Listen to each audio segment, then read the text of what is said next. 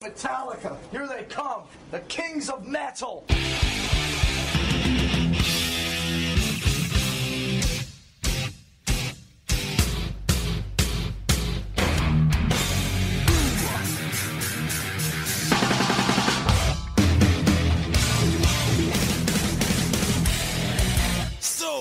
Fucking? Hey, this is Michael Wagner, and you're listening to Metal Up Your Podcast.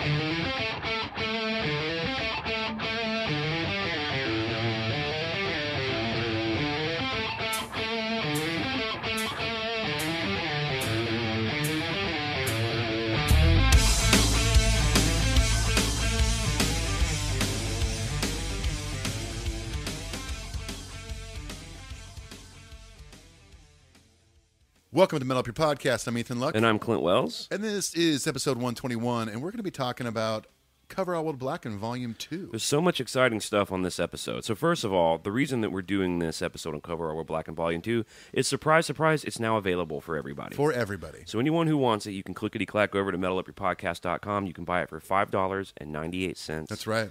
And uh, we're excited to explore it. And we get asked all the time about how we made these things. And for those of you who don't really know, first of all, welcome to the show. We're an all Metallica podcast. And welcome.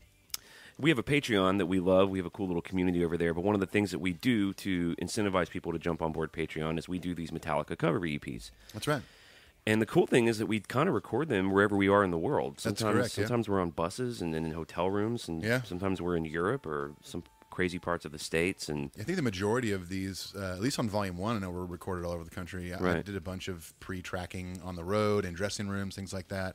I'll probably end up finishing this one probably by next week back on the road. so, what it means for Volume Two to be available to everybody is Volume Three is very close. But we wanted to go ahead and do an episode. We're going to talk about how we recorded the songs. We're going to listen to them together. It's going to be fun, and that's not even the most exciting news. It's not. Here is some fun news for Metal Up Your Podcast. Is a fan of the show and a friend of ours who, for the time being, is anonymous. Anonymous, yeah. They have procured for us uh, two tickets to the S and M show. Yeah, night two. We purchased them from her, and we are giving those tickets away uh, to pay, to a lucky patron, That's right. to to uh, the, a patron and a plus one. And uh, we're going to be doing that contest where it's basically we're just going to draw a name.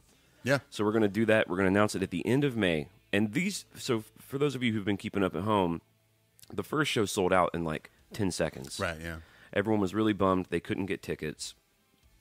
The second show they added is for fifth members only. Mm-hmm. That show also sold out very cl- quickly. This morning they opened up a second chance. Uh, they called it like the second chance way to you can Right, just go yeah. get on your computer, keep it hitting refresh. You might get tickets because that's also sold out. Yep.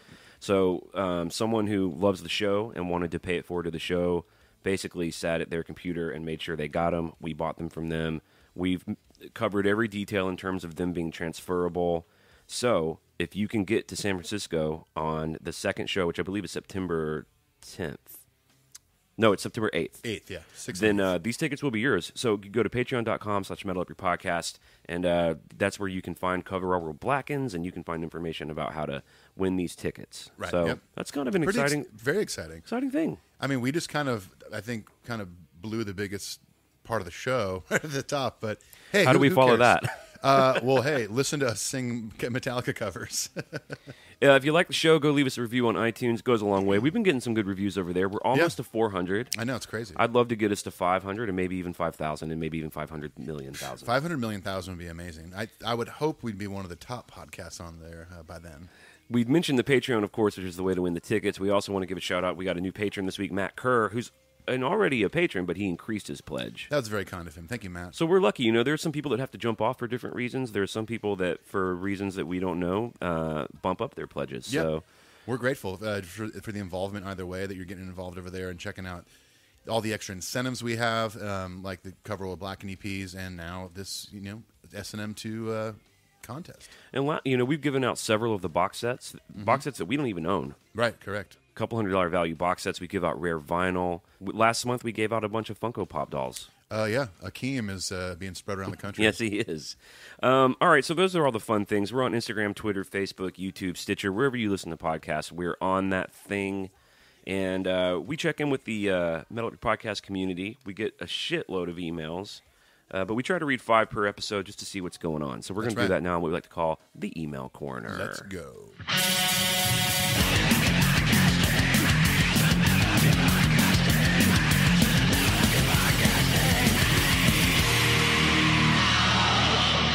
All right, our first email is from Alex. He says, Hey dudes, it's your old pal Alex from Maidstone, England here. My name is pronounced, and he spells it like this Alex. I think he's saying Aleeks. Alex? Alex. All right, well, Alex it is. Uh, I got a new boat, by the way, and guess what, though? What's it, that? It leaks. Oh no, that's a bummer. Wop, wop, wop, wop, wop. he says, and I do pronounce. Hey, I'm, I'm enjoying this coffee that I'm drinking right now. The Yeah. only problem, though, What's it? The cup kind of leaks. No way. Yeah. That's, shoot, that's a bummer. Yeah, it's tough. You're trying to think of other ways. No, I've already got him in the chamber. I'm waiting for you to talk so I can interrupt you. Hey, got this bitchin' new roof. It didn't even cost me that much, and I was able to roll the cost into my mortgage. That's crazy. You know why I had to get a new one? Why? Because the old roof leaks. Oh no, that's a bummer. You know my old 4Runner I have. Uh, it's a '97 4Runner. With the, the unfortunately the windshield is cracked, and you know what's the bummer? What? It leaks. It leaks. Yeah. Yeah, Shit. shoot. All right. Um, he hates us right now. he says I do pronounce Bowie correctly. On to my question. I've offered, offered, I've often wondered what musicians on long tours, uh, how hard it is to not get wrapped up in the whole rock star cliche bullshit cycle, uh, the easy booze, drugs, and women, etc. And how hard is it to adjust to normal life after a long tour? Thanks for everything, brothers. Elix from Maidstone, England. It's a good question. That's a good question. Yeah. Well, um, I love booze, drugs, and women, so it's really e- it's easy for me to find all that. Oh, and how to avoid it. Mm, shoot. Uh, to not fall into. I mean, honestly, for me, it's never been a difficult thing. Um, uh, I've done a few tours where I've decided not to drink just to kind of little self check to make sure that you know there's no issue. I guess. Um, I'll probably do that on the next tour here, which I'm leaving for in a few days. Um, the women thing that's pretty easy. I've been married a long time. I take that serious. So you stay out of trouble. yeah, totally. And and I think the key uh, in certain situations, whether it is is booze, drugs, or women, whatever, or men, uh, you know, if you if you feel like you're in a situation that is a little little weird and could be perceived as something else than it is, you know, then just remove yourself from it. Yeah, I mean, I've had dalliances with all of those things in my touring Sure. days because the I guess the root heart of the question is those things are accessible when Mm-hmm. you do what we do and almost even in some ways encouraged or expected of you. Sometimes, yeah, And so, I mean, just even at a bare minimum level, we have a tour manager, and what tour managers really do is they kind of treat you like a big baby. yeah, And I've often like used this example, like if I'm on a van tour in Europe and I've never been there, and we didn't have a tour manager for whatever reason, I'm the type of alpha personality. I mean, I'm the band leader in my band. Right. I'm the type of dude that's going to figure it out. I'm going to Sure. get a map. I'm gonna I'm gonna get my boys where we need to go. We're going to go into the city. We're going to get on a train. We don't need to speak the language. Right. I'm resourceful, sure, yeah, easy. except for when I have a tour manager. Then, it all goes out the window. I just become like, where do I poo poo and tee tee? How do I hold my pee pee when I tee tee? That's when you walk off the bus and the tour manager's standing there and you go, Where is the venue? Yeah, you can't find And he it. literally points to the marquee above your head. My dude, uh, one of my biggest pet peeves is when you ask your tour manager something, they're like, "What does Master Tour say?" Oh my god, yeah. Master Tour is an app. uh, But by the way, it's nice that we have this now. I mean, we, you and I have toured for It's years great. and years without anything like that. Oh, yeah. But I remember when they used to actually make tour books. Yep. That looked like a big binder. Yes. But the big, my big pet peeve is like, I'm like, our tour manager's name is Toby, who does an amazing job, by the way. I Right. love him, Yeah. but he did it in front of everybody too. I'm like, hey man, what's um, what time is the show tomorrow? Like, my I got some fans coming or what? some friends coming.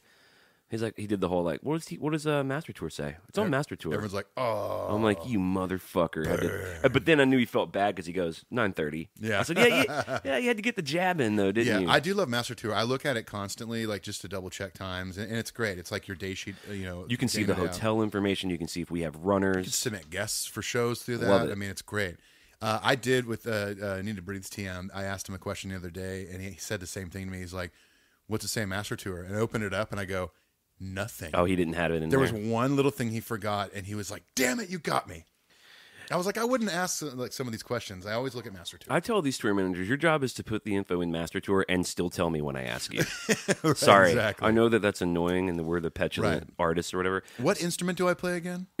What's Master Tour? The thing about staying out of trouble really is what you said. Is if first of all you have to want to be out of trouble. Yeah. If, and if that is something you want, to for your own health or for your family when you find yourself there because sometimes you can sort of innocently find yourself in a dicey sitch mm-hmm. you simply get the fuck out of there. Yes, it's that simple. And if you really want to you want some accountability you let your bros know. Yeah. your, your bros or your ladies know out there who can help you. Yeah, hey, I'm I'm kind of struggling with this. Like I feel i'm trying not to drink on this tour. Can you guys maybe if, I, if i'm you know going down that path maybe remind me Yeah, of what my goals were? Exactly. Yeah, no, it's it, it it can sound like a very complicated thing, like, but it's really not that hard to avoid certain things as long as you want to avoid them. Um, and and also too, I think a good thing to note is that what we do now in the 2000 teens is not like it was in the 80s and 90s. right It's not like we're out there and there's just like a line of girls waiting to come back to the dressing. it's not motley crue's the dirt No, it's not that at all. Well, maybe not for you, but on Need to Breathe acoustic tour, let me tell you. the Need to Breathe acoustic uh, theater tour in which people come and sit down and they're polite and listen. yes, and we have an intermission. And uh, the amount of booze that Motley Crue had on tour, we have that in LaCroix. LaCroix is such a lifesaver on the road, man. It totally is. It's great for not drinking, just getting that carbonation in your belly. So the, the last thing you asked we should, we should address before we move on is how hard is it to adjust to normal life after a long tour? It isn't hard anymore for me, but there was definitely a learning curve, on, uh, and uh, m- my wife and I gaining a muscle for that because I would be totally insane like two weeks before I left. Yeah. and then it would just be super insane for like two weeks when I got home, and then also hard for my wife because she would adjust to a life without me. Yeah. So then she's got my stinky ass uh, being, Coming back. being grumpy at home about li- and listening to metal records loud in my studio. whatever, right, so- exactly. Yeah, I, I mean, if anything, I think it'd be more an adjustment for the people you live with than yourself, you know?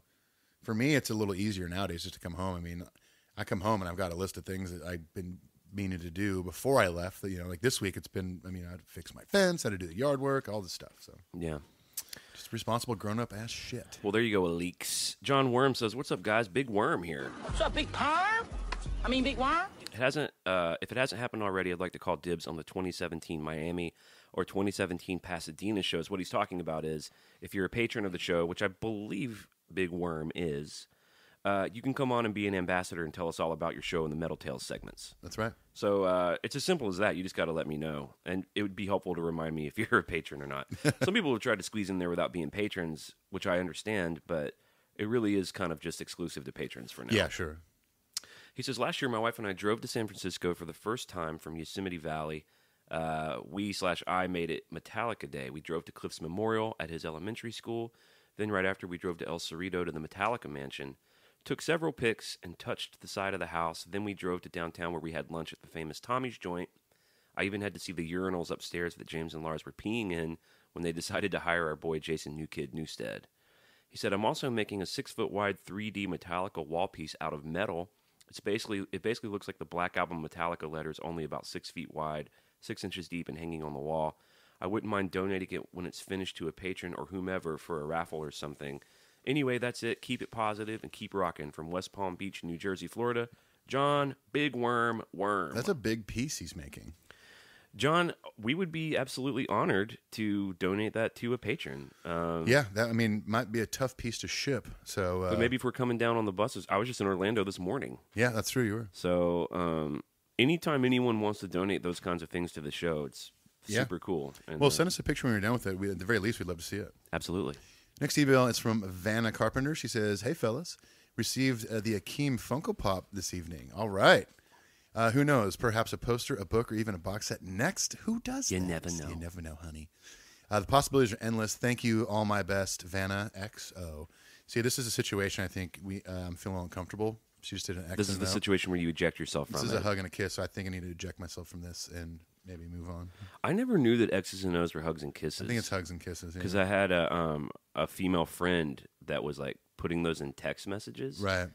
And you know, I didn't think anything of it, and I was showing my wife or something, and she was like, she wasn't loving it. You know, like, "What's that?" You're like, "Uh."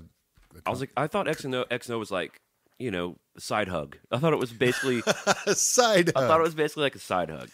You know what I'm saying? Yeah, yeah, yes. I know the side hug.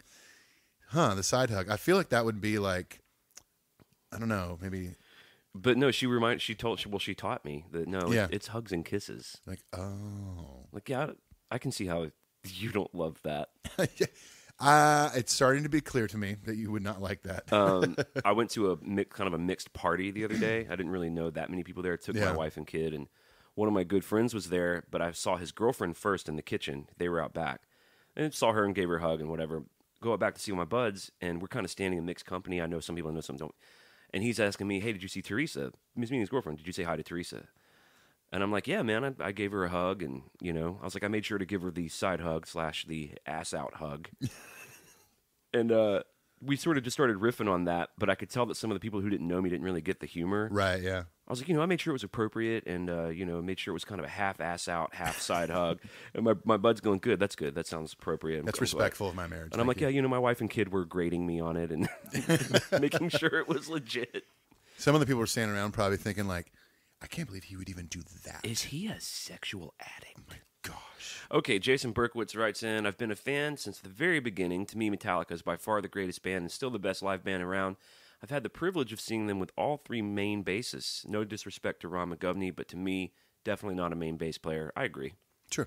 He says Cliff Haslam will always be my favorite. I appreciate Jason and Robert's playing, but Cliff was the man.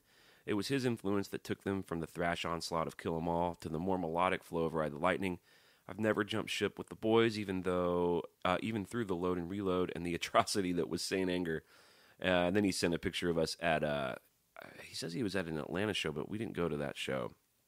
Uh, unless he was talking about, St. Louis Or- or, uh, or, or- Detroit. or, or I'm wondering, uh, did I, I haven't seen the picture yet, or is he talking about back in the day when you went to Summer Sanitarium in Atlanta? No, because it's a picture of him in a stadium. Okay. That was at the Georgia Dome.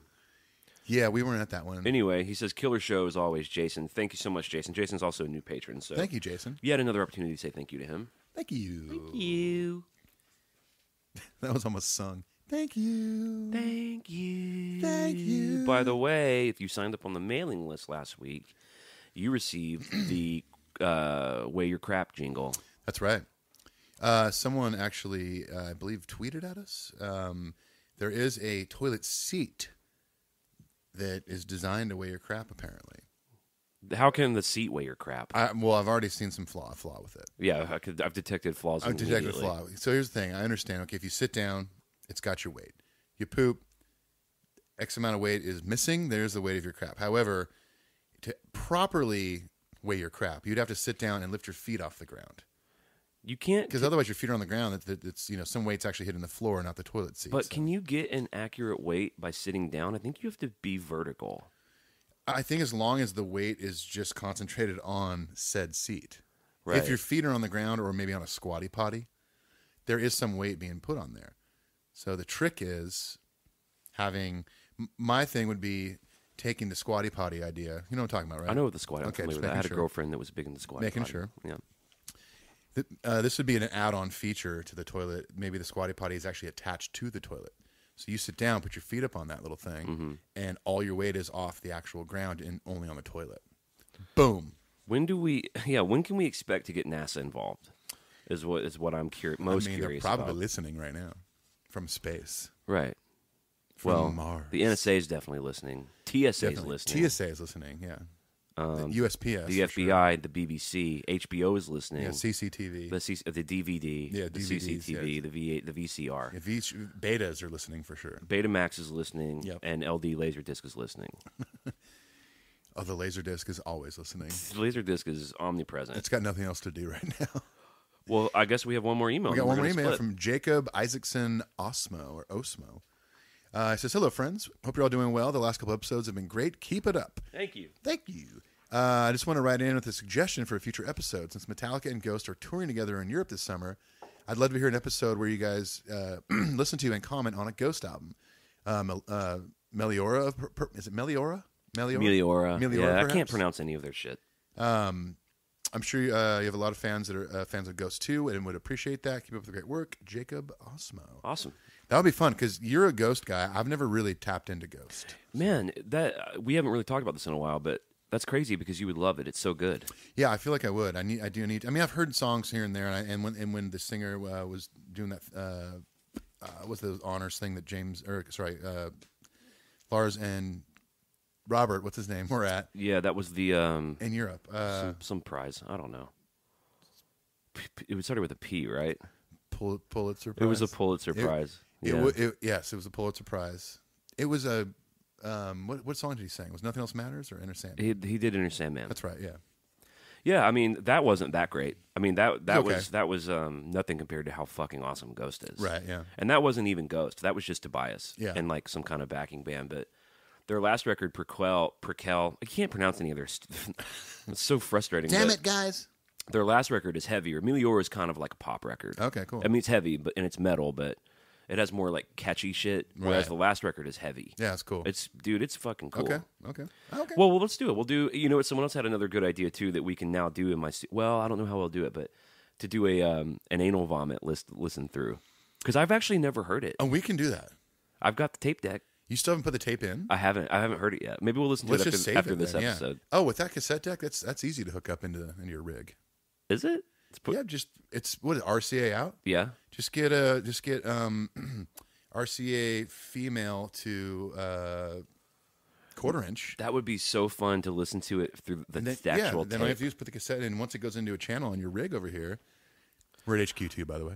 HQ2, keeping it real. Yeah. Well, I guess maybe through the Patreon donations, I'm just going to hire you to be my engineer here. Perfect. because I would have just stopped it. I don't know how to do that. You're like, no, it's easy. RCA out, and you convert those, and you put that in. And Yeah. it's, it, I see the flow chart now. Well, yeah, the, yeah, the flow chart. Flow chart makes sense. Yeah. I, I've just had a lot of experience in like I like to transfer vinyl from time to time. Whenever I have a record that I don't own digitally, uh, I'll hook up my record player into my interface, um, transfer the record into Logic, cut up all the tracks, and it's cool because you're like you're forced to listen to the entire thing in order to get a digital copy of it. And what's cool, in this cassette, this might work out cool too, but uh, uh, I leave the needle drop in. So I have a couple digital rec- ver- versions of records on my phone, and when you put it on in the car, you hear. Now that would be a fun shirt to have. That would be a fun shirt to have. Um, cool. Well, I think that's it for emails, by the way. thank you for writing in. It's Metal Up Your Podcast Show at gmail.com. We love hearing from everybody. We love hearing everyone's Metallica stories. And uh, we, of course, love hearing about how we've changed your lives via the magic of podcasting. Yes. So uh, let's get out of here and talk about Cover World Blackened Volume 2. Let's do it.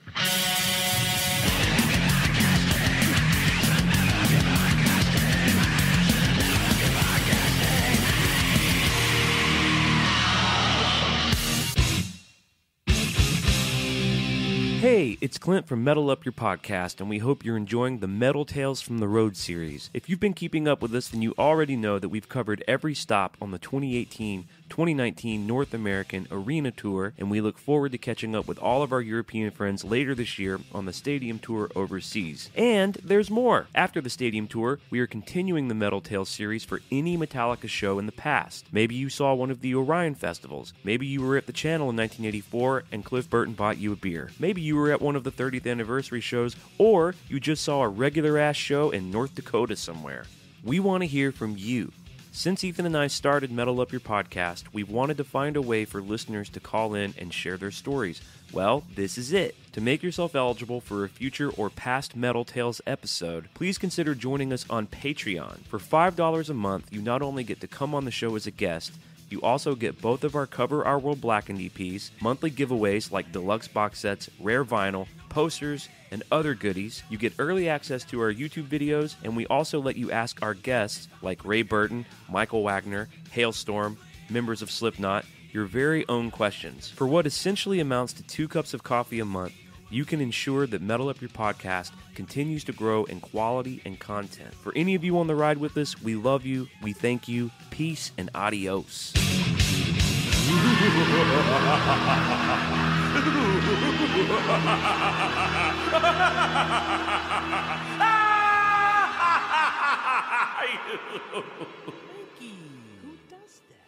Well, here we are, and we're going to listen to Cover Our World Blackened Volume 2. So it's so fun to make these for the patrons, to say thank you to them. There's also a sense of that where we work so hard on them and we think they're so cool that I love the day like today when we can let lots of people hear it. Right, yeah. Because, you know, this takes a lot of TLC. Sure. Well, and there's a lot of people too out there that aren't involved in Patreon and don't get to hear it. And Yeah. so it's fun for us to, you know, present it to you and we can talk about it as it's playing and to think of some stories that happened while we were recording it and things like that. Um, and it's just, I think, a cool glimpse into kind of our other tastes in music too. Yeah. because it's not like we're doing verbatim covers of these songs, even close. No, and and speaking of that, so we can lead off here with track one, which is my version of mo. And usually, what we do is we do a Clint tune and Ethan tune. Yep. We sort of alternate. Pe- let's just address this too. People keep asking when we're going to do one together. It's just a matter of it's like hard to find time. I mean, honestly, we, we like each song or each volume we've done so far, we've discussed it. Like, it'd be fun to do something together, and more so than just me sending you a track and you doing a harmony or whatever. Like, No, like doing it together. sitting yeah. down and arranging it together and stuff. But it's it's difficult enough to like find time to carve out in our weeks when we're t- uh, touring or at home to even record the podcast, let alone do all this other stuff. Clint's writing a ton. I'm doing writing stuff. I'm on the road for longer chunks. You know, Clint Clint does a lot of the weekend touring stuff. So, and when he's home during the week, it's nothing but writing with other people. So Yeah, it's tough. I'm usually doing like I'll be able to put an acoustic guitar down here before a write, or do a vocal here in between writes. Yeah, and totally. It's just very Frankenstein together. So maybe one day, maybe someday. Someday. Now, speaking of doing these really differently, I think I did Motor Breath last. So I'd already had my three tunes, and it is different sounding. You're going to hear it in a second. It's more Mm-hmm. of a um, kind of Elliott Smith take on it, but it follows the chords. It really It- follows yeah. the actual chord progression. That's what I like about it. But you you, you kind of had to rearrange, uh, not rearrange, but just like rearrange the phrasing a little bit on certain parts. And I- Yeah. And it, and it works very well. This is honestly my you know my favorite of yours. Oh, cool. Your four on this one. Well, let's start listening, and we can. Uh, I'll have nothing good to say about the other three. That's hey, that's fine. Is hey, if you can just if you blow the whole load on the track one, I'm cool with that. Okay, perfect.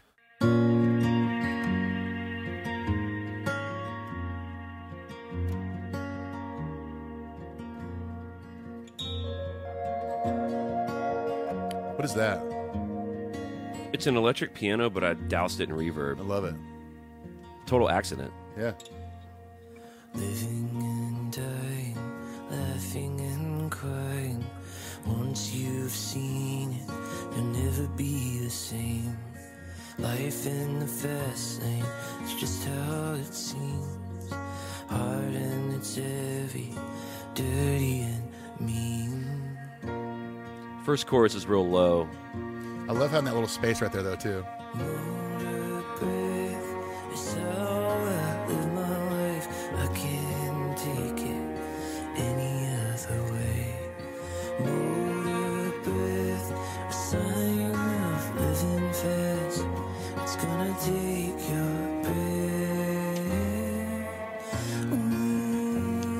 That climb you did right there is really cool. Yeah, it's cool. Sort of lended itself to that. It's my Yeah. friend Mark Evitts on strings. He killed it. Yeah, I was just about to ask uh, the dude's name that did it. Is it did he just do uh, violin? He did like a quartet. Cool. So there's a cello and three, a viola and two violins. So awesome. Don't stop for nothing, it's full speed or nothing. Taking down, you know, whatever's in kicks as you're shooting a line. Sending shivers up and down your spine. You really hear the quartet here. Motor breath is all That's beautiful. my life. I can't take it any And the falsetto chorus too sounds so cool. The signs of But even going from like uh, the first verse to the second and doing an octave higher, it's, it takes it to an ex- another level.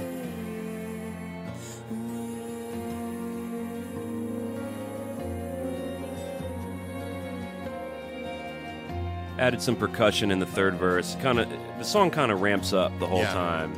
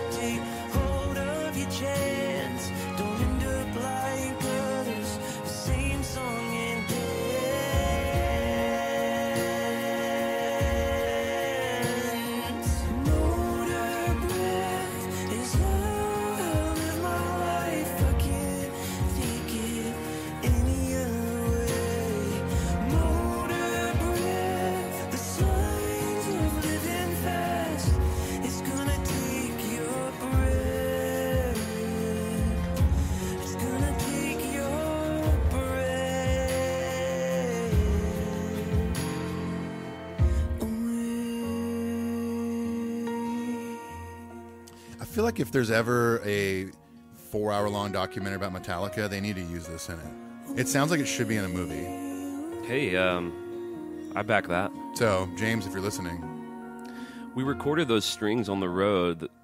Um, Mark Evitts, the dude who did the strings, he's the fiddle player for Rodney. right? Yeah, they sounded beautiful. So usually, what he's so good that usually what we do is he just tracks it at his studio and Yeah. sends it to me, and I mix it in. But it was a cool, unique opportunity while we were like, we you know we had hotel rooms and it Yeah. was like before sound check it was like you wanted because he he usually takes his shit on the road because he's composing or mixing. Right, He's in school at Berklee, like on an online program, so he's always got his gear. Right? Yeah, And of course, his fiddles vault, his fiddle vault's on the road with us. So a fiddle vault. he's got a fiddle vault. We give him so much shit for it. Is it like three feet tall? No, it's big. No, it holds all his fiddles. He's got like four or five fiddles on the Right, road. but I mean, a fiddle's what?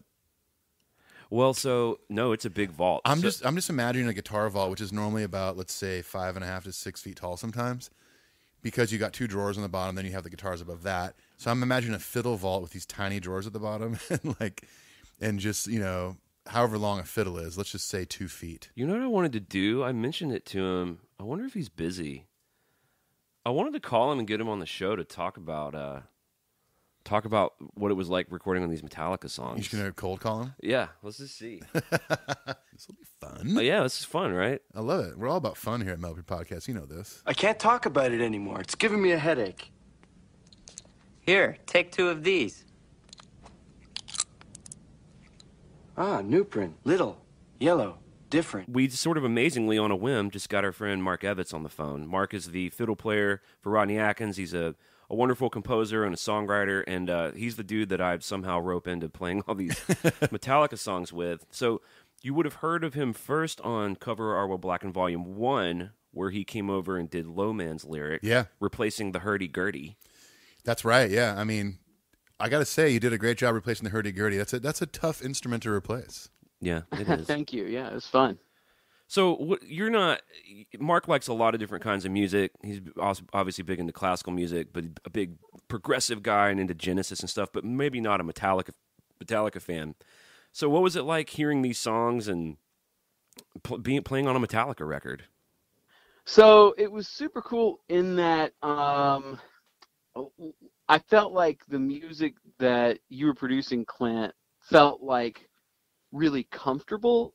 So it was like because I play on records that are a little bit softer and a little bit more like singer songwriter.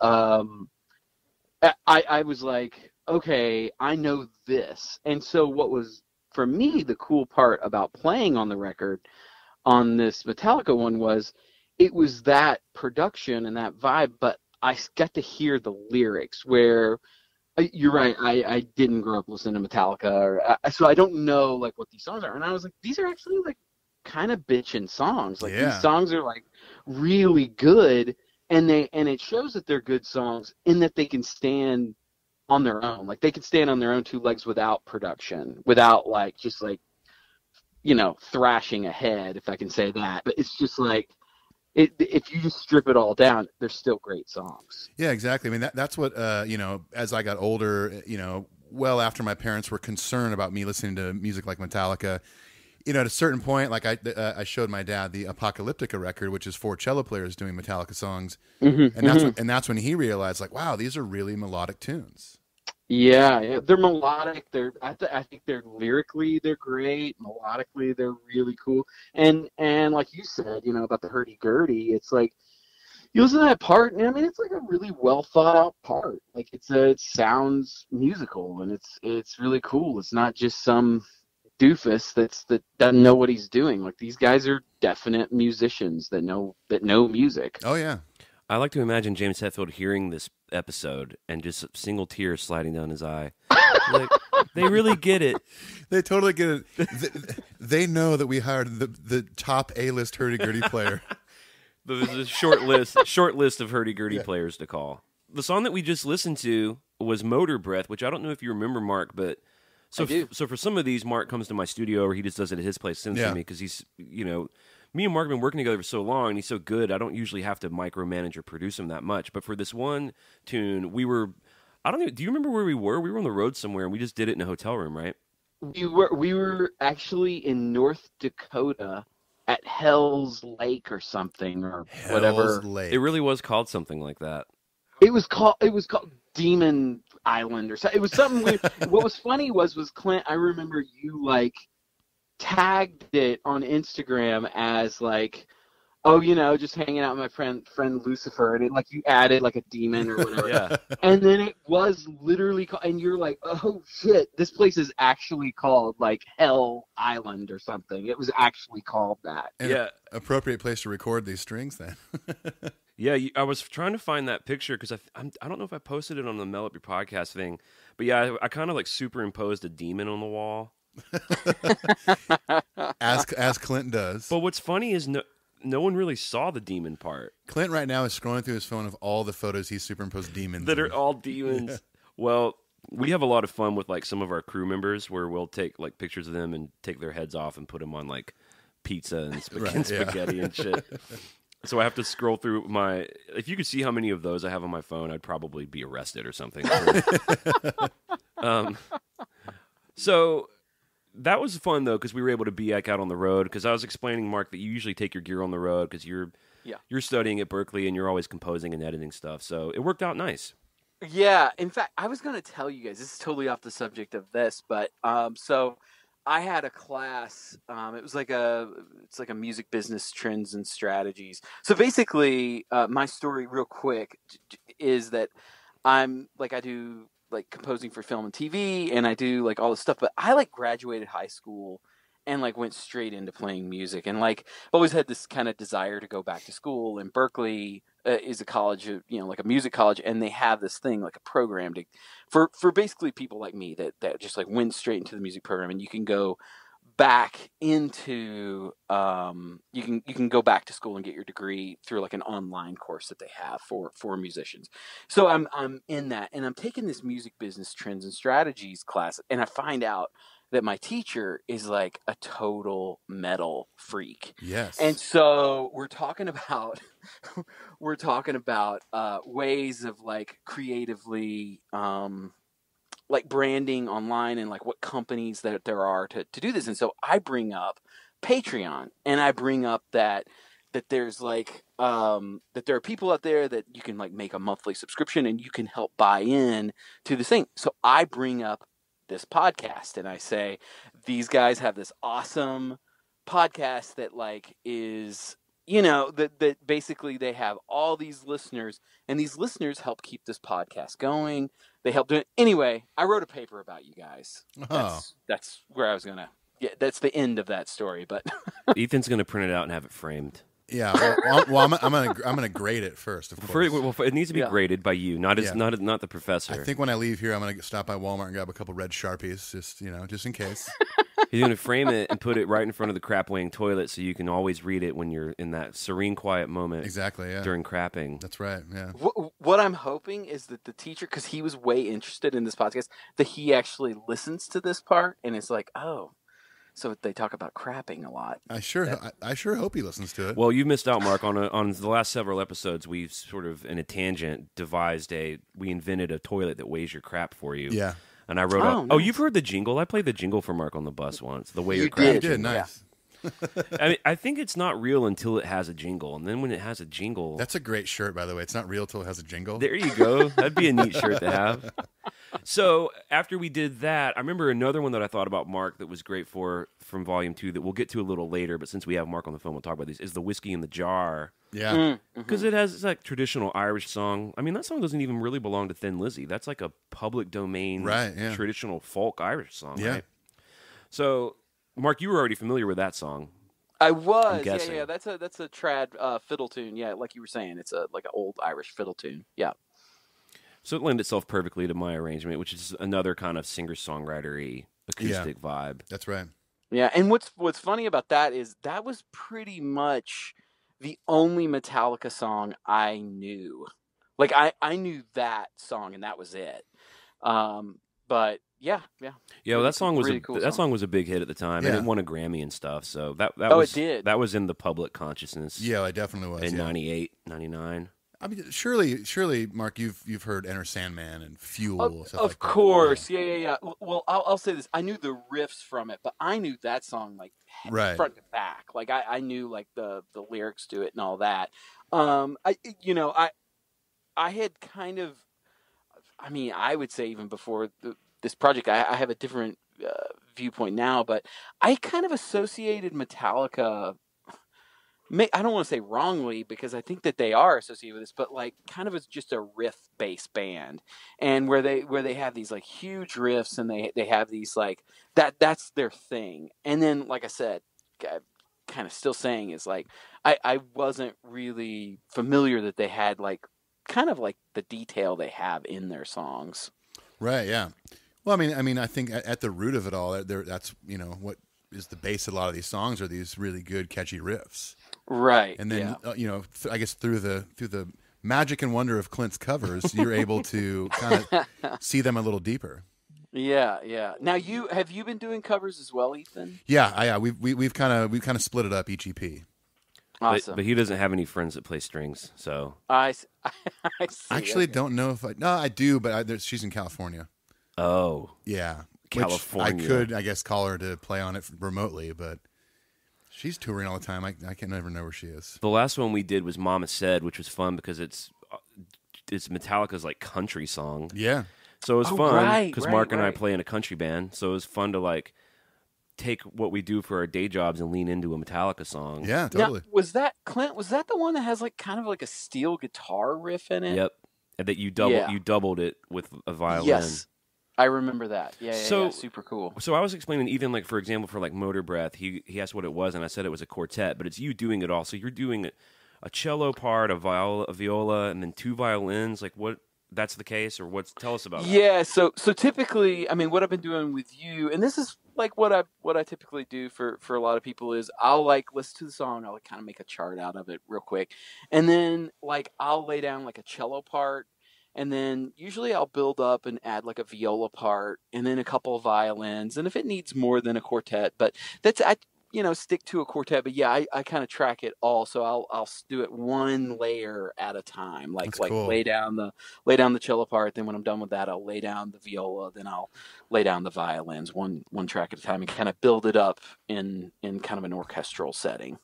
So you don't do all of them at the same time? Uh, right? Yeah. Wow. Funnily enough, I thought you had eight arms, and I was like, wow, yes, that's I'm an cool though. Well, I mean, uh, you know, for me hearing hearing that stuff, that obviously I didn't do any recording on. It's cool to hear, uh, yeah, kind of this this string sh- section you've created under these songs, and it sounds great, man. Well, the stuff sounds great. I mean, it was easy to lay it down because it sounds sounds really really good. And Mark plays on a lot of the other work I do too, my writing stuff. Right, so, he- you know, Mark, you always make it sound better and make it sound real. So, thank you so much for doing that. And he's going to be doing one of the tunes on Cover Our World Blackened Volume Three. Awesome. So, Yeah, yeah, uh, I'm excited about that. that. that no one knows about yet. Shh. So, Mark, tell, I am excited. tell the good people where they can find you if they're interested in you. Yeah, sure. If you wanna um check out my stuff, uh, you can you can either go to Instagram and it's just my name, Mark Evitts. E is in Edward, V is in Victory, I T is in Tom, T is in Tom, S is in Sam, Mark with a K, Mark Evitts. So on Instagram, my website's just markevitts.com. It's got a bunch more stuff that I've played on. Yeah.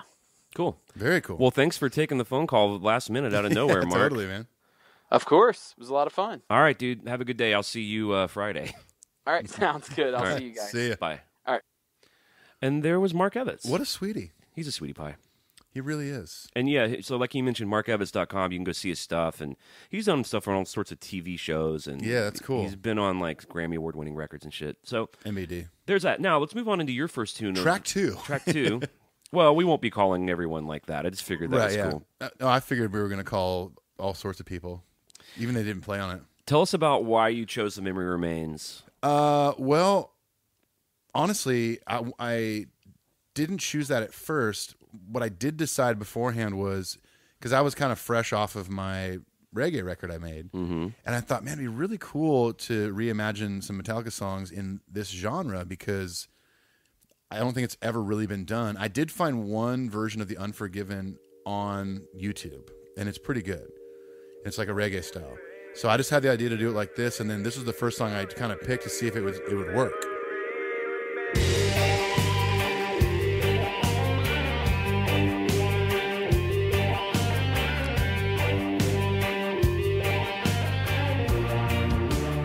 It's you on organ.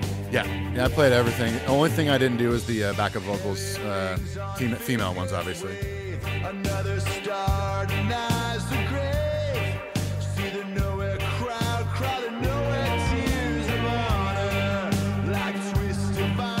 It's almost like a little Metallica companion piece to Let It Burn. It kind of is, yeah. It, it's a yeah. A lot of songs are a little dirtier, and you know, but you're right. I, I like that a companion piece. mirror vein gone insane. I didn't know you had a wah pedal. Do you have a wah pedal? I have three. really? yeah, two don't work, but Look yeah. out, Kirk Hammett. All three of them are uh, were gifts from my dad. O- original Crybaby, original Vox, and then a newer one called a uh, Jeffrey T's Wah. You're the only one that actually plays solos on these projects. I know. I kind of dig it. I love solos, man. Cigarettes up to lips that time forgets. While the Hollywood I just wanted to throw out like a cool, chill vibe, you know, like, you know, you kind of do the more ballady thing, and I thought like, man, this will be fun to like again expose people to maybe a style of music they're not usually used to listening to in a familiar way. I think it's so cool. It's fun, yeah. I won't be doing it on the next one, unfortunately, but I couldn't pull this off. well, this is kind of what I grew up doing, man. What I'd like to do is maybe start slowly by just wearing like a Hawaiian shirt every day, I, I think like a fake dreadlock wig would help. a fake dreadlock wig, and maybe Yeah. like this is Hannah, by the way, beautiful. just soaked in reverb, doubled on the wall.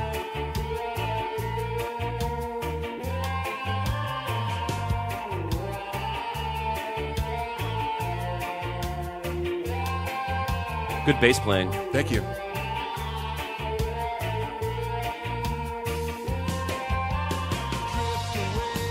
And I think most of these tracks, minus like the leads, vocals, a lot of stuff was just done. Uh, let's see. Actually, you know what? A lot of this wasn't done on the road because I wasn't on tour last year. So uh, there were a couple things were, but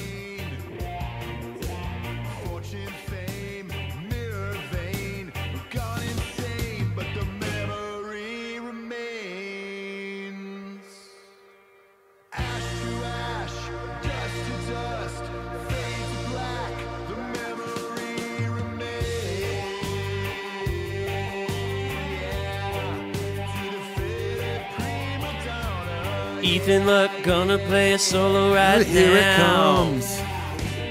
Crap weighing toilet. How much does it weigh?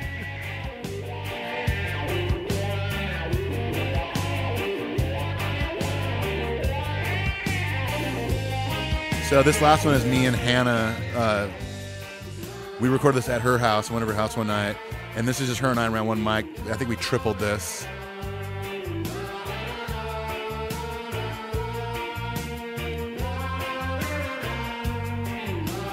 I love the organ. Oh, thank you. It's kind of essential to the reggae It vibe. absolutely is. right? Yeah, that or clavinet. Yeah.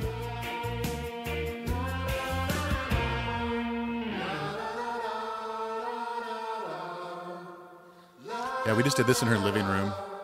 What kind of mic did you use? I just used my little. It's like a three hundred dollar AKG. I think it's the Perception.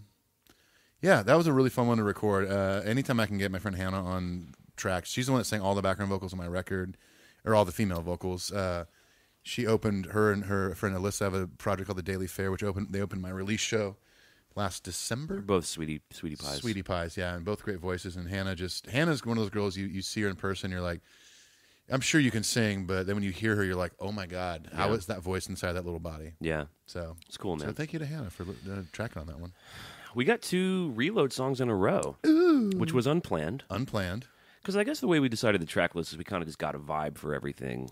Yeah, exactly. So I don't know why I tackled Where the Wild Things Are. It's definitely the hardest Metallica one I ever did. yeah, Jason Newsted's last co-write. that's right, man. I love the lyric, and uh, I love how weird it is, and it just doesn't get enough love. So it's fun to just maybe put a little spotlight. yeah, on it. absolutely. This is not one that most anyone would think to cover. Um, so I guess let's just jump in and we'll talk Let's about dive it. in.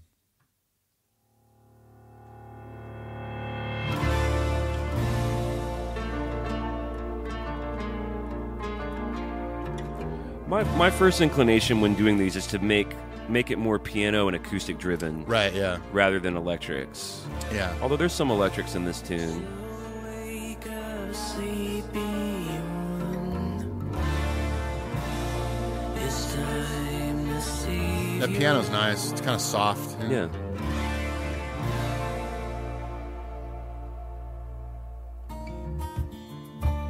Four on the floor kick drum. That's Yeah. that's not there in the Love normal that. track. Just needed some movement, you know. Yeah, absolutely. That was a, that was a good call for a, for a cover for sure. Weigh your crap. Think we have like eight new Way Your Crap jingles. I, I know, man. Shoplift a thought or two. One of the things that was really fun about deconstructing this song is these harmonies on the left side are so strange. Yeah. I basically just ripped James' exact harmonies because I couldn't, I would never have thought of it. Because he's Yeah. not a trained singer, you know. Right. So for him to hit him to go like in an unconventional way is cool. I think he probably just gets a mic and goes for it. Yep. And they piece it together. Just love these dissonant chords in Yeah. the chorus. This is very Alice in Chains. Mm, thank you. I mean, I am saying that it's more your version than theirs. Yeah. I love that industrial loop in the back. Yeah.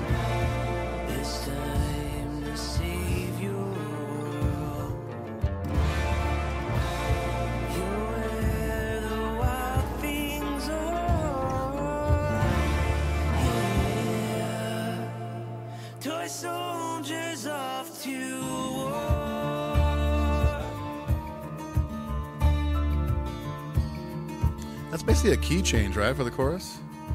Seems like it. The, this main section's in E minor. And I think I did everything down a half step, like Yeah. lo- like reload is. So it's E flat, but that chorus is. I think it's a C major seven, so it's in there. Yeah.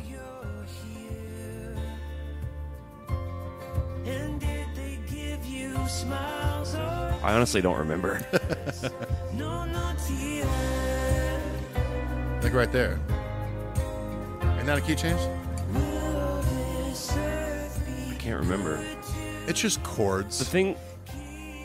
I guess I should have thought more about that before we did this, but Hey, it's all right. The thing about for me, I don't know if you feel this way, is like I live inside the song. It's like living in a fire. Like Yeah. it's, I'm all about it. I'm listening to it every night when I go to bed because I really want to get inside of it to reimagine it. But Right. when I'm done, I'm done. Yes, totally. Like I don't play it to myself. You know what I mean? Yeah. I didn't even listen to the project when we were done with it. right. See, I think When uh, I'm making it, you got to swim in it. Yeah, no, I- I'm with you on that. I, I often will revisit stuff a little bit later just in case I think, like, maybe I do want to add something else to it. Like, I think it might be done, but then I'll give it a few days, listen to it in the car a few times. I do like, that when "Ah," we're making you know, it. Right. Yeah. But once we sent it to mix, which by the way, our friend Nathan Thomas did it. This is cool. Vocoder. Yeah.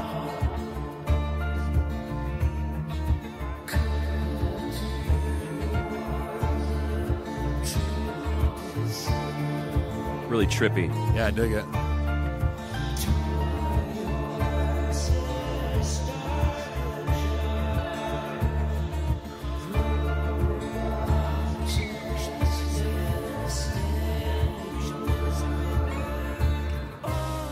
That was the most challenging part.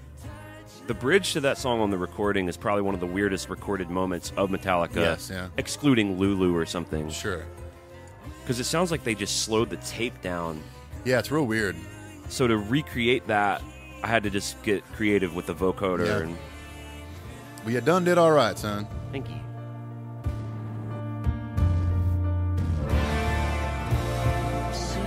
It's electric in there. Yeah.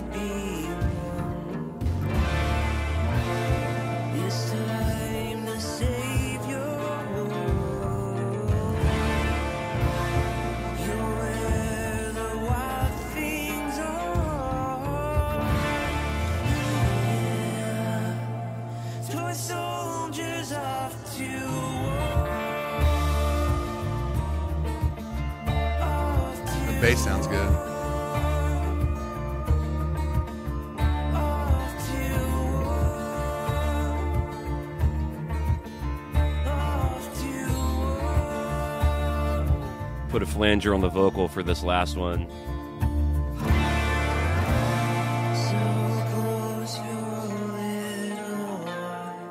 That's cool.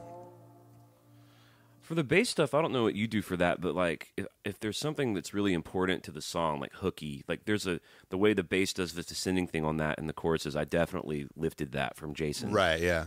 But sometimes I just kind of do whatever makes sense for what I'm yeah, doing. that's kind of where I'm at, especially with kind of doing a little bit of cross genreing with the reggae tunes. You know, it was Right, you tough have to. You, yeah, you kind of have to do it to, and a lot of you know with with my versions that are in the in the reggae style, um, it really was just about starting with the drums and bass and getting like a feel for it. You know, I, I when I picked the songs, I was like, which which would work well in this style, and then once I figured that out, then I uh, always start with drums and bass. Well, in the reggae, the the the pulse of the reg of a reggae rhythm is so different. Yeah. So it's kind of like one of the signature parts of reggae is that. Yeah, absolutely. Yeah, I mean, guitar and and uh, guitar mainly is primarily like a, a percussion instrument, unless there's a lead. Yeah. you're just doing either or. Yeah. You know, it's it's percussive, so like the drums and bass are kind of what move the song. So we decided to do, which this perplexed some people, but Metallica's covers, Metallica covering other people, we covered their cover. Right. Yeah. Well, I think I mean I think it's appropriate only because a lot of times over the years, I start to associate these songs as Metallica songs Yeah. because they've done them for so long and For done sure. them so well. For sure. Um, I had originally wanted you to do Last Caress, but you did Die My Darling, and I'm glad you did because Yeah. this is actually is my favorite piece of yours on this record. Yeah, this is the most upbeat thing I've done for the cover World Blackened stuff for sure. awesome. It's like it's kind of reggae, but like the rhythm on the guitar I'm doing is, is this.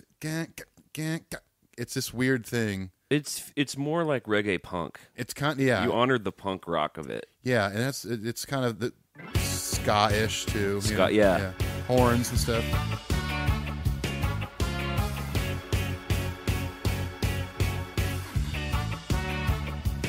So sick.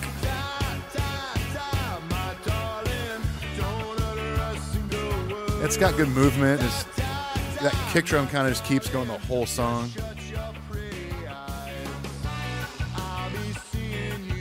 Love the vibra slap.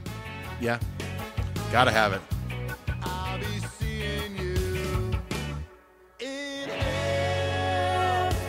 These harmonies are fun here.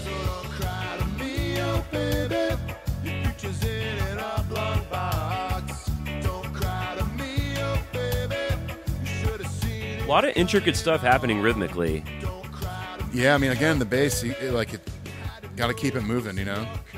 But between the organ, the chirpy guitar, Yeah. the hi hat, And that organ, I just did, got, got, and then put a slap back on it. ah, got, got, got. You can play it that way, but it has a cool feel when you when you do it like with a slap back.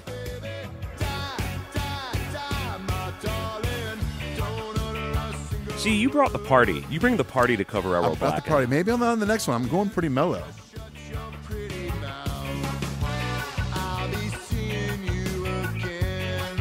in the crab laying toilet.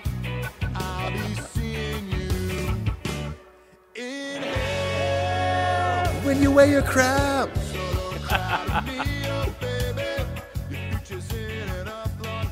It's an interesting song because it's it's it's literally just two parts. It Right. just repeats. Right.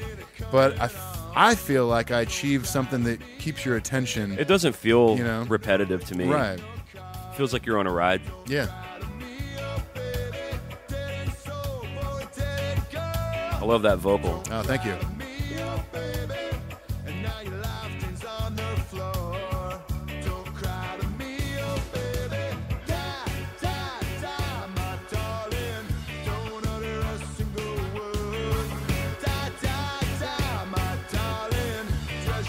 It's got a great pulse.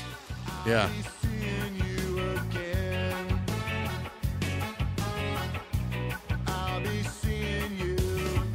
When you wear your crap.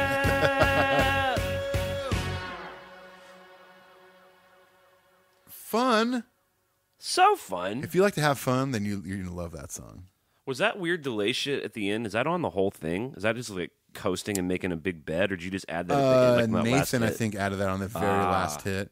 Uh, there's other songs I've done like on my record um, where like I just like find like this crazy trippy trip triplet like on a delay, hit it so it's like gang, gang, gang, gang, gang, and it- then it starts to oscillate itself and create this pad. Mm-hmm. Yeah. I love doing that and just keeping it tucked down a little bit and just adds a little bit of something to it. Once again, Nathan Thomas, who mixed the record for us at a bro rate, and the Patreon stuff is what helps pay for that. That's right, yeah. Um, the artwork for Volume Two by Nick Makoviak is Yeah. so fucking sick. He did awesome, man. Uh, you can find him if you want to hire him to do any of your artwork. I think he's reasonably priced and he's eager to do that kind of stuff. Yeah, And good dude, yeah. especially for you folks out there that have bands or or whatever. Yeah. Um, all right, well, moving on to whiskey in the jar. Yeah, this is a good one. Now, h- here's the bummer about this though. I lost this session. Oh, that's right. So what you're really here's what you're really hearing is my two mix I forgot about this. where I wasn't. It's just the reverb I slapped on the whole mix bus just to give it a little bit of life as I was Right. thinking about what else to add.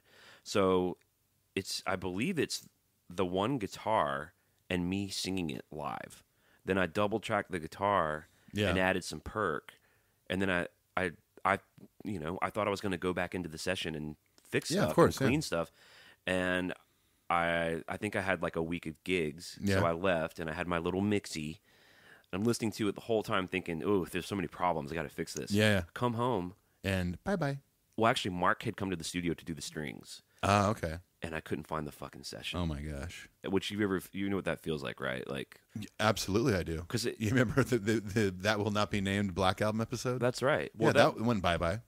but the thing is, I loved even though I didn't like maybe some of the elements of the two mix. I loved the vibe. Right. Like I loved the way I sang it, and I, I just wasn't sure I could do it again. Sure. So I was like, oh my God, what am I going to do to salvage this? So what you're really hearing is my two mix that we just put strings on. yeah, love it. And so another sh- um, shout out to Nathan is I basically said to Nathan, I remember it was when I went to record my solo for Let It Burn at Paul's studio. Yeah. Nathan was there just hanging out. And I remember telling him, I was like, man, can you salvage this for me? Like, if I record the strings in my studio, I I know it sounds like it's not that big a deal, but to not be able to record the strings in the session and mix them and glue them in the session, correct. and put them in a mix bus with everything, and there's all this glue that happens, right. Yeah, of course. so to just record, it'd be like me taking creeping the recording of Creeping Death and recording a solo over it. yeah, exactly. The trick is, how do you make that solo sound like it was in the same room as the drums yes, and the guitar? Exactly. This is this is why the however many people on YouTube that have uploaded their versions of And Justice for All with they, their own bass to it. That's why it doesn't sound that good. right. because you weren't there and it wasn't in that session in that gear. You can make it uh, have more low end, but like what you're talking about, there's there's a, something to put in it in that session. So Nathan did some magic, and uh, I think he pulled it off. So you're basically hearing the, to wrap this all this up. What the, what's exciting about hearing the first little two mix I did is that it, all that th- sort of kinetic of the first pass is all there. Right? Yeah. It, it's not like slaved over. It's kind of just got this immediacy to it that I think turned out well. Yeah, I and then think of course too. Mark Evitts on the string. So here's a little whiskey in the jar.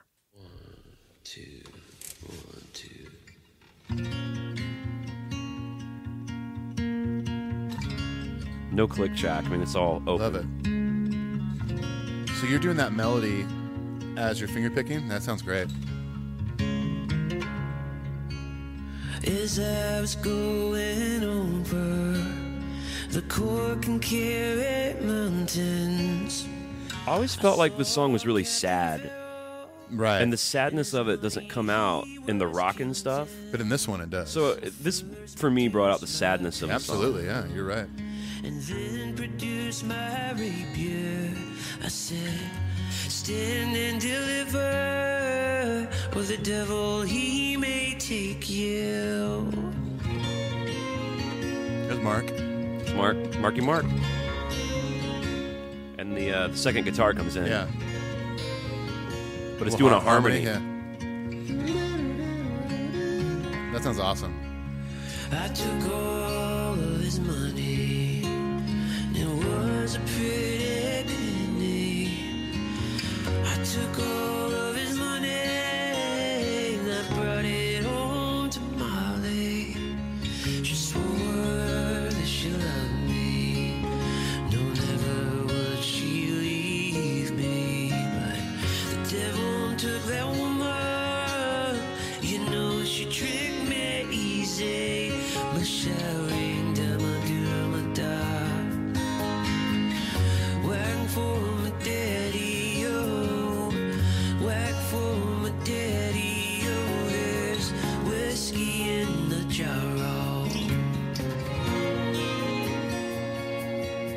weird tracking that? Yeah, dabba doo ba doo doo. Yeah, a little bit. Just for how tender it sounds. But I just leaned into it. sure. I'd be tempted to go, yeah, yabba doo, yabba doo. The bedrock version Totally. added some kick. Yeah.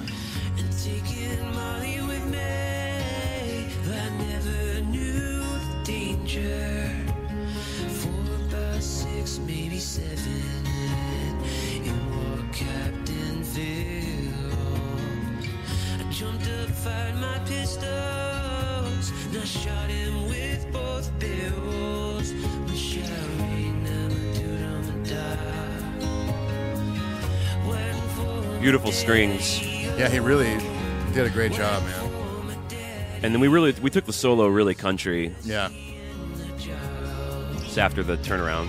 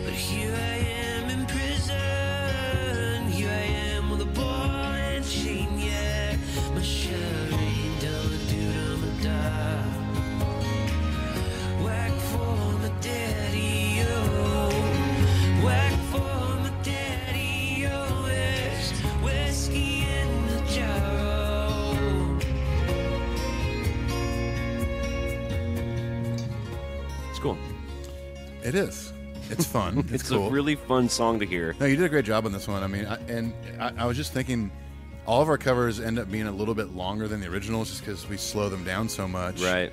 Like I think my in Chains one I'm working on right now is like over five minutes. Yeah. I mean, the original one's long, but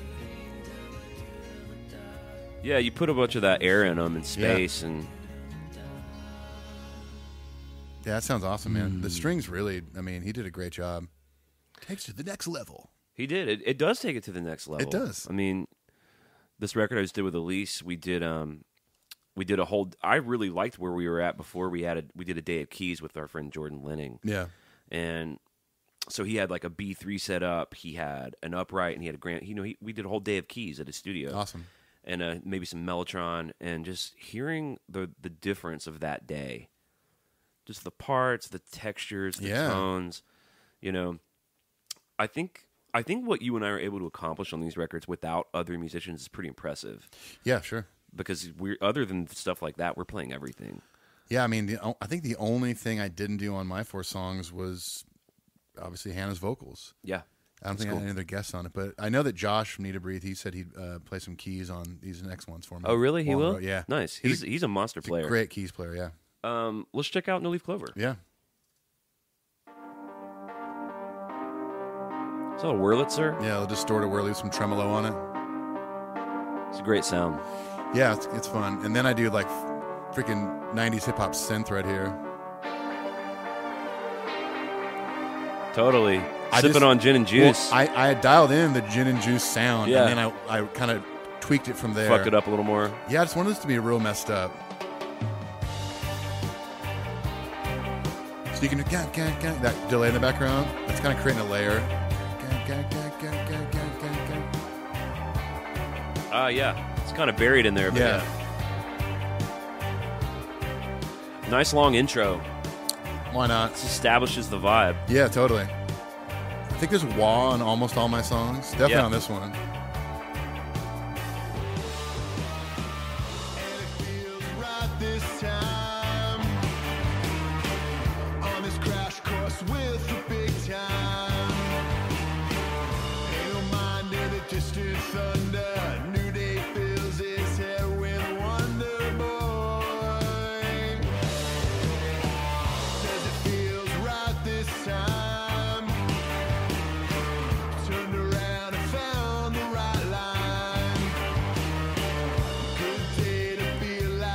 Kind of hear on the right, the right distorted guitar, there's a little more fuzz. Nathan added that. Oh, he did? So almost like it's breaking up more. You'll hear it on the next verse.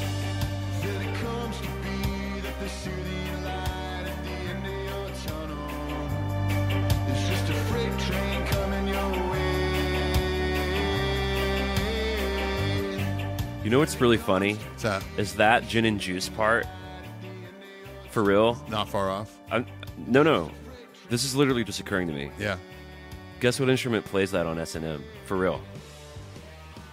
Uh, wait, on the original, you mean? Yeah. That's that's an oboe, my friend. Is it an oboe? That remember, we were trying to, you kept singing the oboe as like a bass part. I know. I'm trying to tell you, it's like this mid-range pretty thing. That's the oboe. I didn't realize it was an oboe. That's great. Awesome. I'm happy about this. I love when pa- different paths of this podcast cross. I know. That's the oboe part. now, when they when they when they've done it live since then without an orchestra, Kirk will play that on guitar. Right, right. Get the bass moving there a little bit. I was bit about more. to say again, I think a really nice hallmark of all of your work on this is the bass drum interaction. yeah. It's got a great groove. So I, mi- I I skipped the whole bridge heavy section. Obviously, went straight to the melodic solo part. Yeah, I've on skipped- uh, Univibe. I've skipped shit too.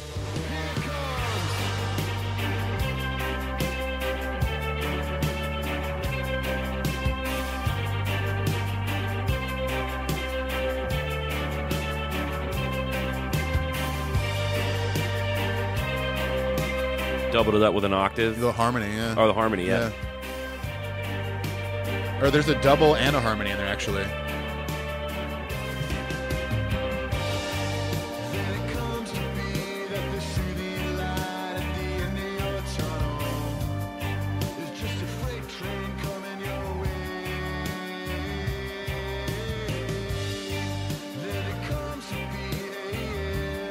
Challenging to do those the Dude, weird falsetto When I originally did this, it was a much higher key, and that was like, oh, that's tough. Yeah.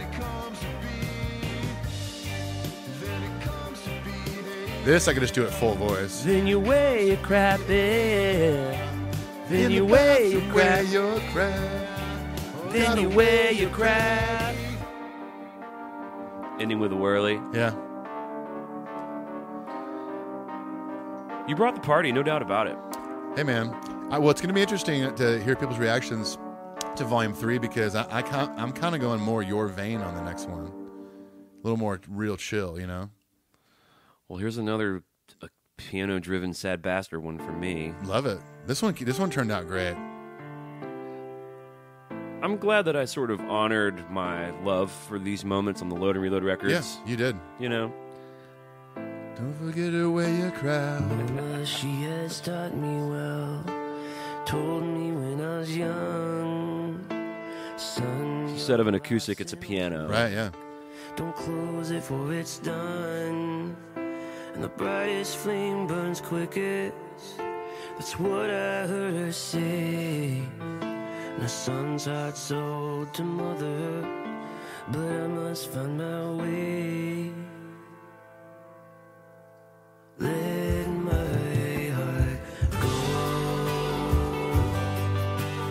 Let your. The electric sounds great on the right hand side. Little bendy stuff. And then it's the strings on the left, kind of reinforcing the country. yeah. This heart be still, be still. It's a viola and a violin. Or sorry, a cello and a Cello, violin. yeah, I hear the cello on the left. Oh, Mark, man. Hey, dude, ain't bad.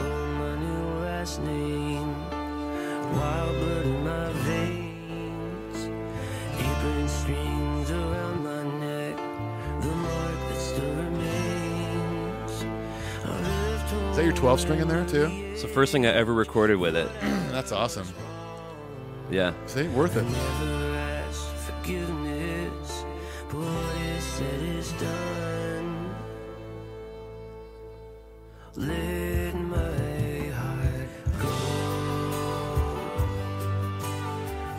It's fun loading this one up with vocals too. Yeah, totally.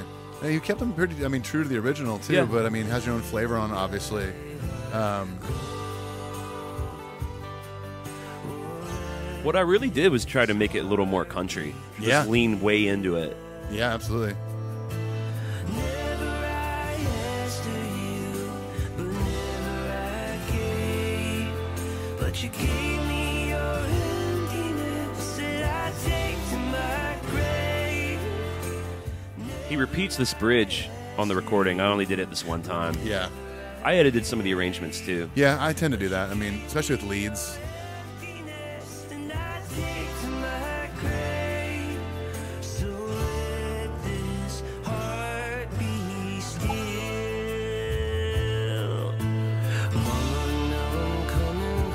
Quartet. Yeah.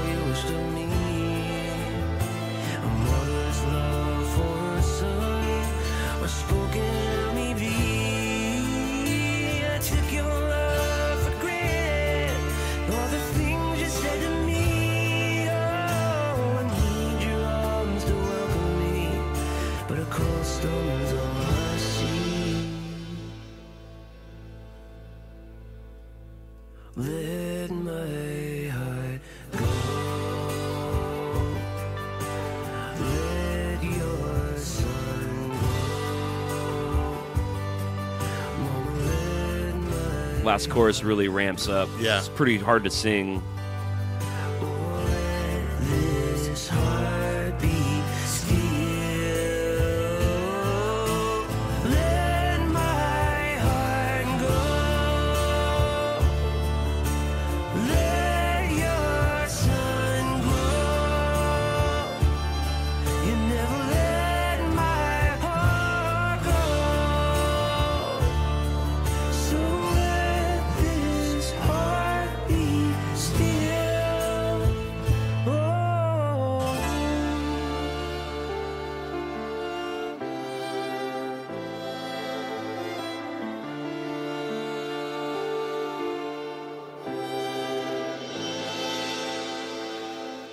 Ends with Mark. I, God, those strings are beautiful.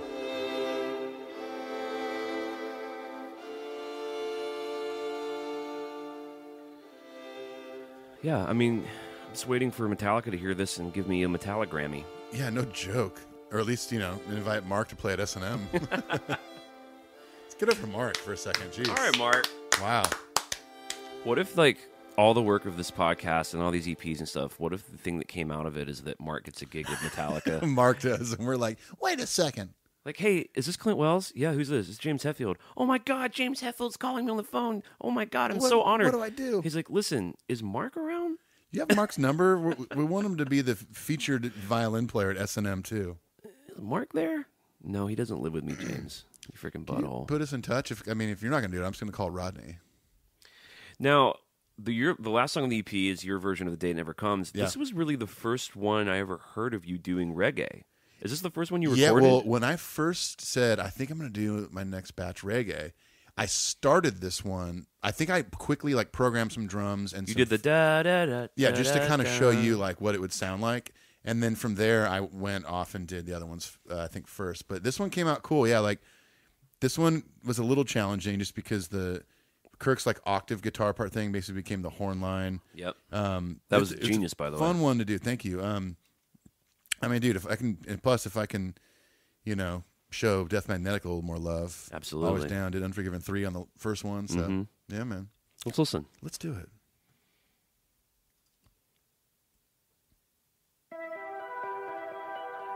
Whirly again?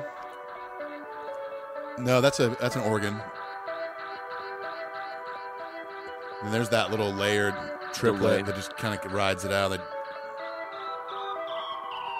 How'd So- you how'd you make it do that? just m- move the time knob.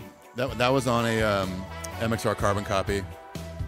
I would set the tempo to be a triplet, ga ga ga ga ga, and then right before it kicks in, just turn the time way down.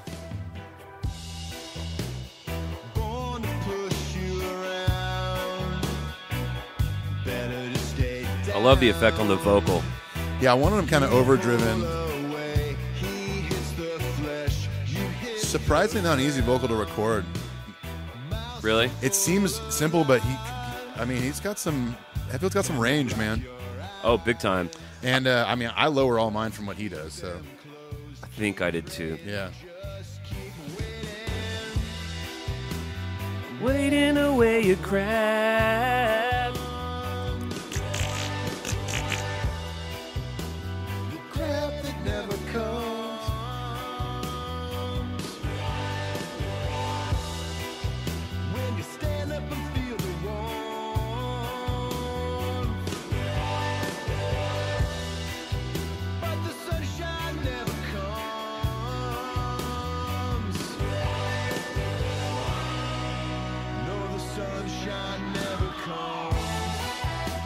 Another one of those cool delay weird things. The uh, the Dr. Dre synth is back doing the horn line too.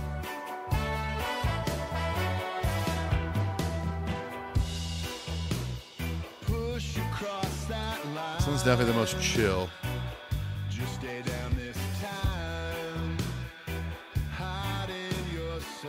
Did you put that effect on the vocal, or did Nathan do that? I had one on the on the original vocal that on my mix I sent him. Just like I always send him one is like here's what I'm thinking. So if you can kind of duplicate that, would be cool. So it it's just this triplet that keeps oscillating, like I was talking about earlier, that kind of creates this weird noise throughout the whole song.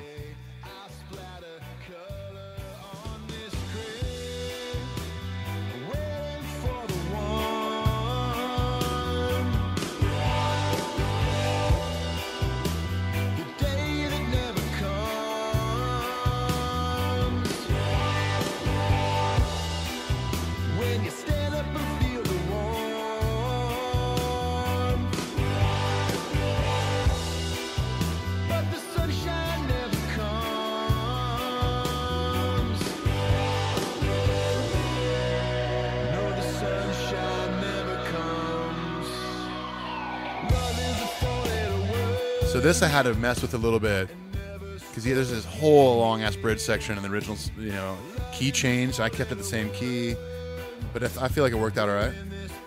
yeah, I think you did a good job.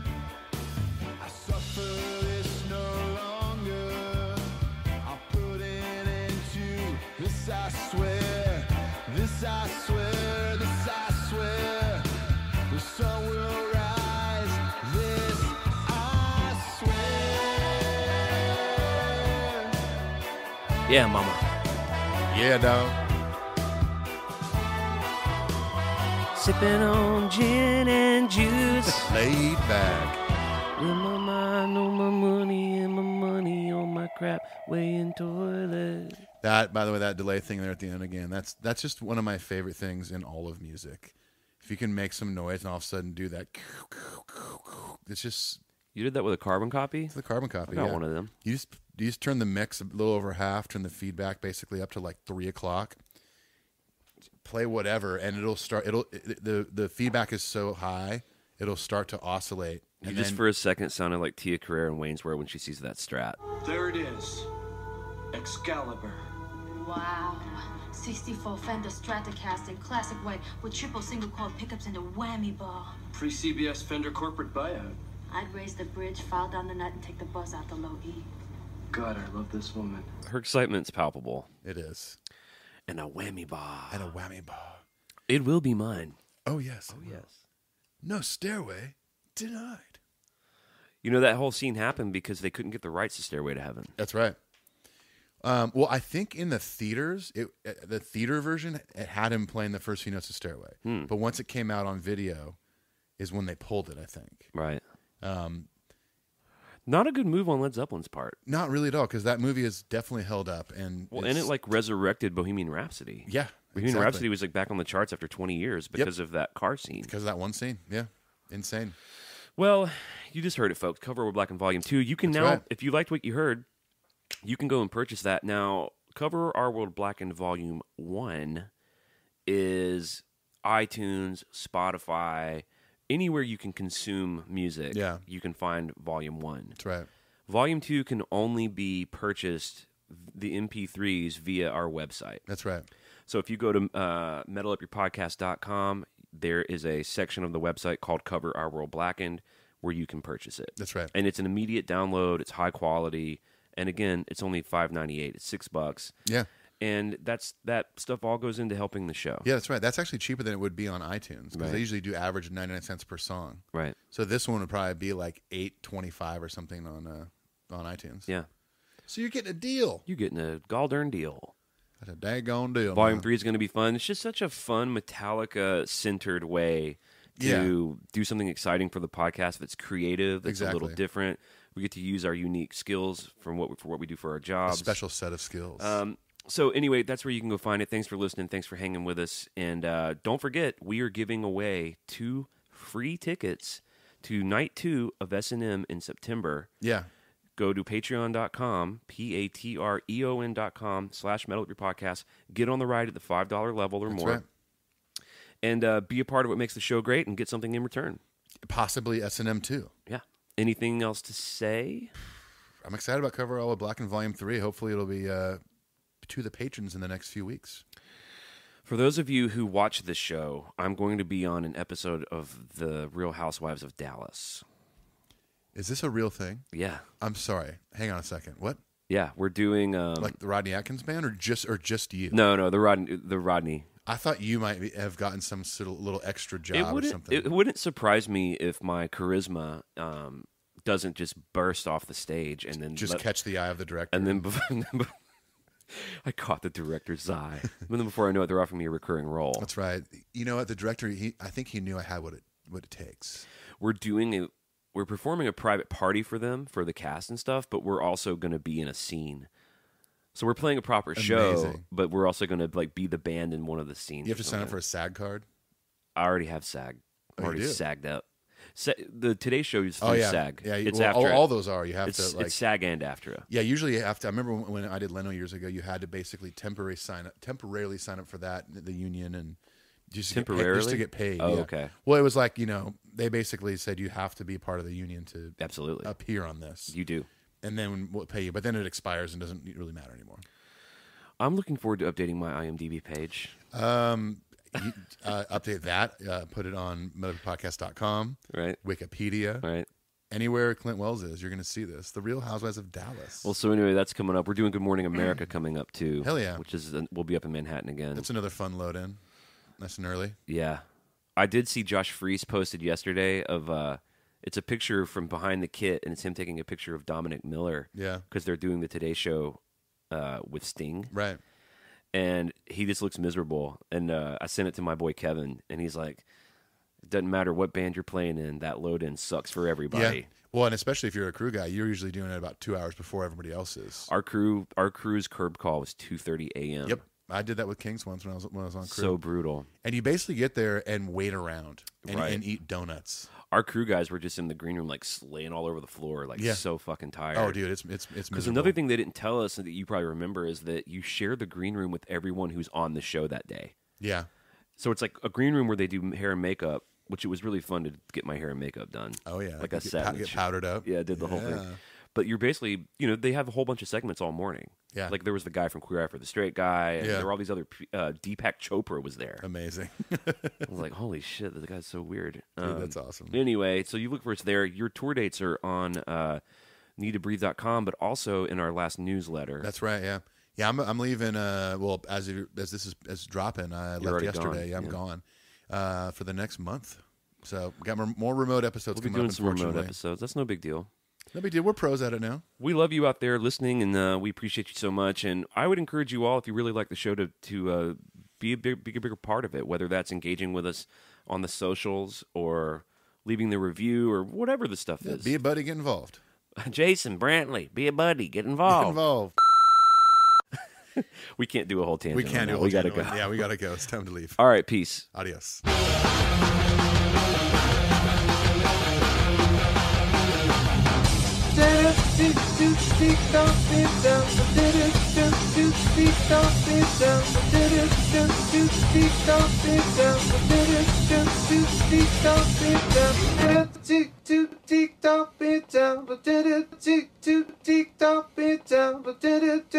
You're really good at that.